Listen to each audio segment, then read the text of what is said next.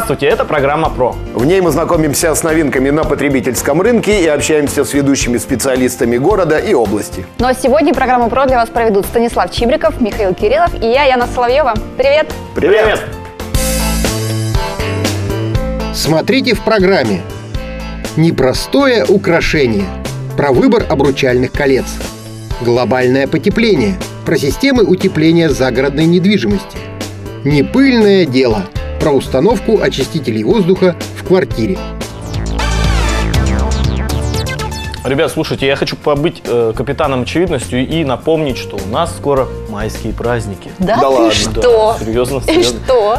Но вот будем праздновать. А у вас какие вообще любимые праздники? У меня день рождения. Ну, мой день рождения. Хорошо, у меня тогда два праздника. Это Янин день рождения и Новый год. Вот. А у меня Янин день рождения, Новый год и свадьба. На самом деле больше всего люблю свадьбы. Ну, свадьбы ты любишь как э, не участник, как ведущий, правильно? Ну, на самом деле, и как ведущий, если приглашают как гость, хотя в последнее время это не бывает. Ну, Но сам в принципе, ты... там весело. Сам ты не женат. Нет, я не женат. Но тогда следующий сюжет будет очень э, полезен и для Михаила, как для потенциального жениха, и для всех, кто только собирается создать ячейку, так сказать, общества. Сюжет о самом главном свадебном аксессуаре. Смотрим.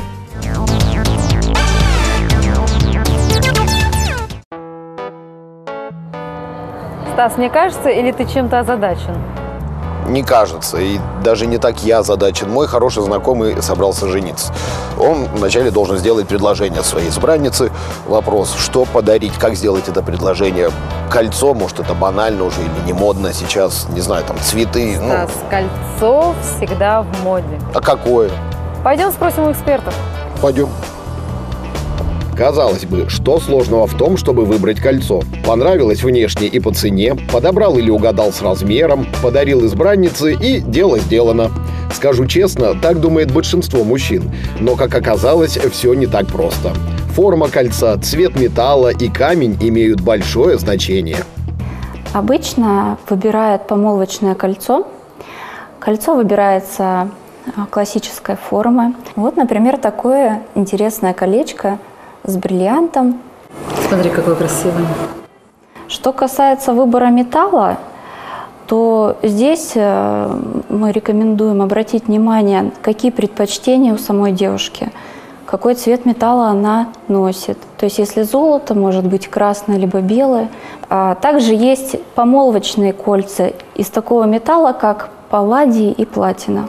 Как правило, помолвочное – это тонкое классическое кольцо с камнем. Ориентируясь именно на него, стоит выбирать украшение. И желательно соотнести его с образом и характером будущей обладательницы. Для нежной и утонченной невесты подойдет небольшой камушек, а для смелой и активной – более крупный.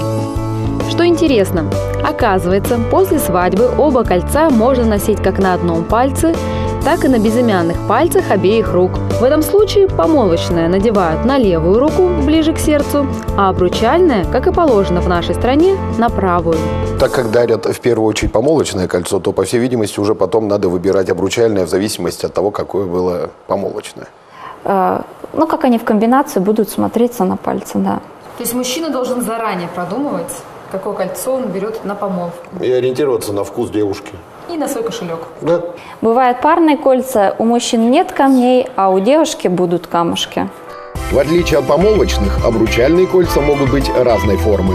И классической круглой, и нестандартной, в виде гаек, с различными выступами, с разными орнаментами и с всевозможными вставками. Ну что, с кольцами более-менее все понятно?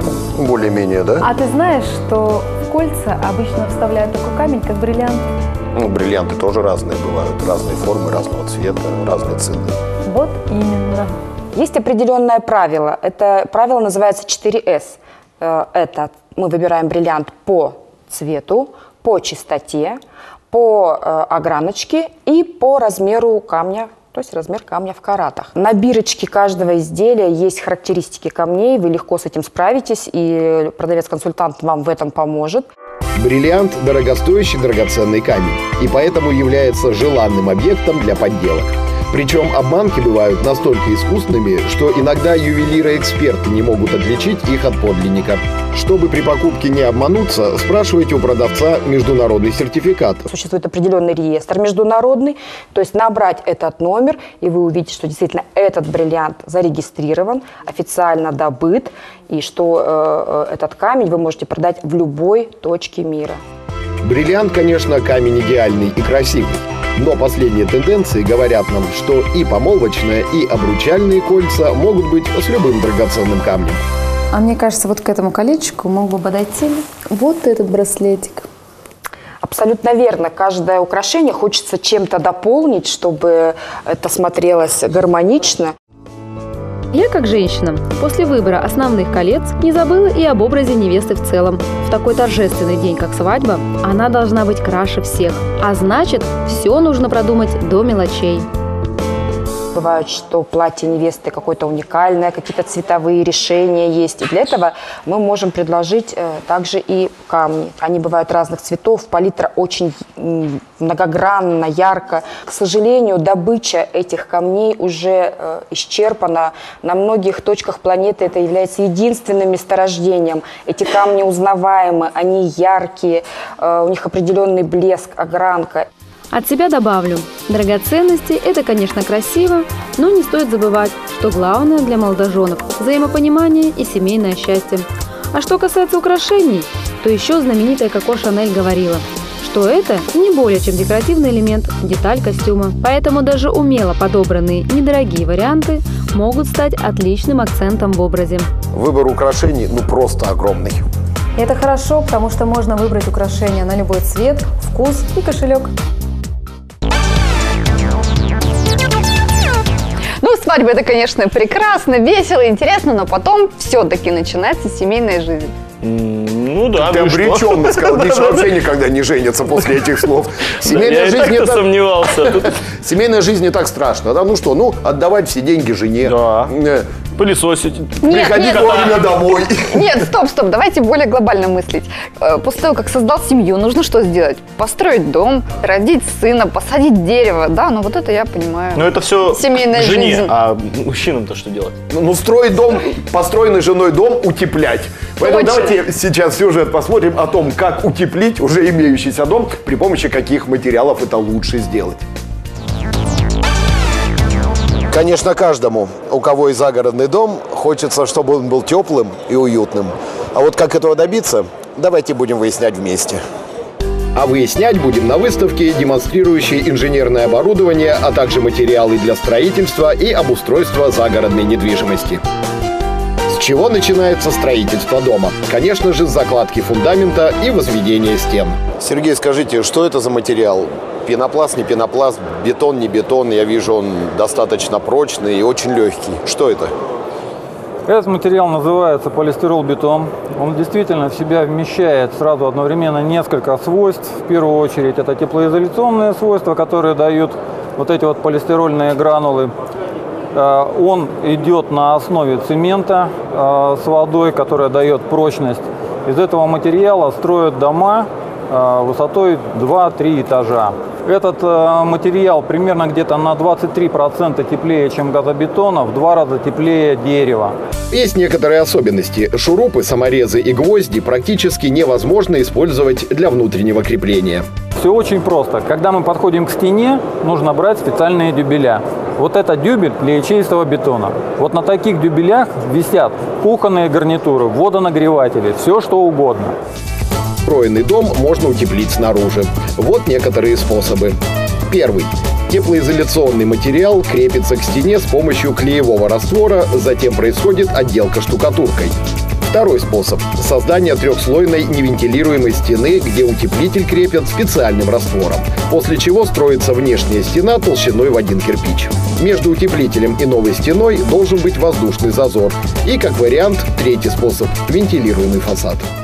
За счет чего происходит сбережение тепла? А Сбережение тепла происходит за счет того, что мы э, делаем снизу теплоизолирующий пояс из утеплителя, тем самым мы отсекаем приточку холодного воздуха. Стена дышит за счет воздуховодящих щелей, находящихся сверху, и вертикальных стыков, потому что панель сама не герметизируется. Дом построен, стены утеплены, настало время подумать о системе отопления. Тут все традиционно. Для этой цели используются всевозможные печи и уже полюбившиеся в Сибири твердотопливные котлы, сырьем для которых может служить уголь, дрова, брикеты, пилеты. Если мы возьмем э, средних размеров загородный дом, пусть это будет 100 квадратных метров, э, какой мощности котел вы бы посоветовали? На 100 квадратов в среднем 12-15 киловатт. Котел подходит. Ну, автомат непосредственно вот прям 12 киловатт. То есть вот. Прям вот этот. Прям вот самый оптимальный подойдет. Такие котлы производятся только в напольных вариантах, имеют большую массу и, как правило, при загрузке топлива может выделяться небольшое количество дыма. Поэтому было бы неплохо выделить помещение под оборудование. Впрочем, отдельная котельная не помешает для любых печей. Неплохим дополнением к основному отоплению могут послужить солнечные панели. Перед вами представлен солнечный коллектор. Его задача – греть воду, которую мы можем использовать как для горячего водоснабжения, так и для отопления помещений. Принцип работы этого коллектора заключается в том, что он преобразует э, солнечную энергию в горячую воду. Несмотря на кажущуюся хрупкость, панели достаточно прочные и могут прослужить верой и правдой до 20 и более лет. Их главный недостаток – цена. За такой уже полностью смонтированный комплект, состоящий из двух панелей, придется выложить порядка 220 тысяч рублей. Зато в период эксплуатации не надо будет тратиться на нагрев воды. Самое теплое место в загородном доме – это, конечно, баня. Да-да, вы не ошиблись, я сейчас нахожусь действительно в бане. О ней и поговорим со специалистами.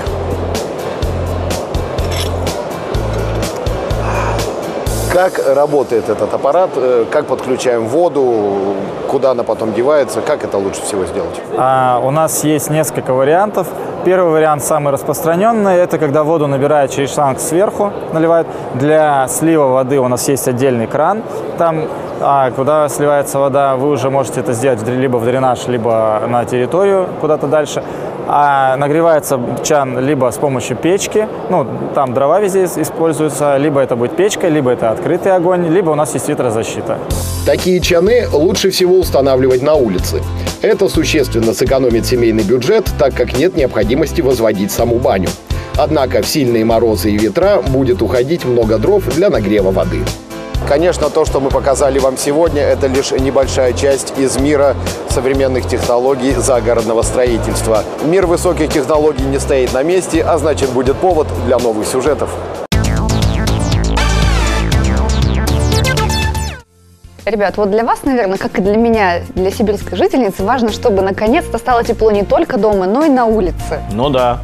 Скоро будет лето, месяца через 3-4. И Я очень будет, надеюсь думаю, на тепло. это. Дорогие оптимисты, должен вас вернуть на землю. У нас до лета есть еще такой промежуток времени, как весна. Наша сибирская пыльная весна. Ну и... Чем же она хороша? Да, она хороша тем, что это проверка для наших легких, да, и для э, наших квартир. Надо Ну да, постоянно да. мыть дома, убирать эту Можно пыль. не открывать окна? Ну, хочется проветривать. А как жарко. Дома жарко, хочется свежий Ну, воздух. свежий воздух даже. Открываешь окна, в дом летит вот это вот с улицы пыль, грязь, сажа, гарь. В общем, как-то надо решать эту проблему. Есть или вариант не открывать окна и сидеть в жаре и в духоте, или есть намного проще вариант э, установить специальные приспособления, которые, собственно, и очищают воздух. Такие есть? А вот мы сейчас из сюжета и узнаем об этом. Глубь небес опять ясна, пахнет в городе весна. Это стихи. А это реальность. Запах и суть города. Выхлопные газы, пыль, шум, закрытые окна и никакой романтики весны. Один углекислый газ в помещениях, где мы живем и работаем. Существуют данные крупных исследований, которые говорят о том, что повышение уровня углекислого газа крови выраженно влияет на работу центральной нервной системы. Соответственно, проветривание необходимо производить не меньше, чем раз в час. Городской загрязненный воздух способствует развитию и обострению различных болезней, в том числе проявлений аллергии, респираторных заболеваний, головных болей, появления кашля и головокружения. Какой выход? Бежать или обратиться к проверенным способам очистки воздуха? Пару недель назад моя хорошая знакомая Наталья по моему совету установила у себя дома бризер. Давайте зайдем к ней в гости и посмотрим, как изменилась за эти две недели ее жизнь. Привет. Привет! Как и обещал, зашел в гости. Проходи. Показывай, Наташа, где он? Вот, это уже установленный... А Он работает, нет? Да, он работает, посмотри. То есть он сейчас в данный момент, так его не слышно? Да, работает. Чувствуешь воздух? Чувствую. Чувствую воздух, но я его абсолютно не слышу. Напомни, почему ты все-таки решила установить у себя дома бризер? Помнишь, я тебе рассказывала, то, что Катя последние полгода это что-то невыносимое с кашлем. Предастматическое состояние, как говорит пульмонолог. А, Возможно, аллергия. Притом аллергия, знаешь, можно обследовать очень долго. И кашель а, к вечеру, переходящий в ночь. Пульмонолог посоветовал что-то срочно делать а, с воздухом. Вот. А учитывая то, что зима, батареи очень горячие, окно закрыто на ночь, естественно, и в результате воздух нагревается очень сухо, и вот этот кашель, а, она жила на таблетках. Мы все различные варианты пробовали, а, мы купили увлажнитель, но когда ты включаешь увлажнитель на а, душную горячую комнату, получается эффект бани.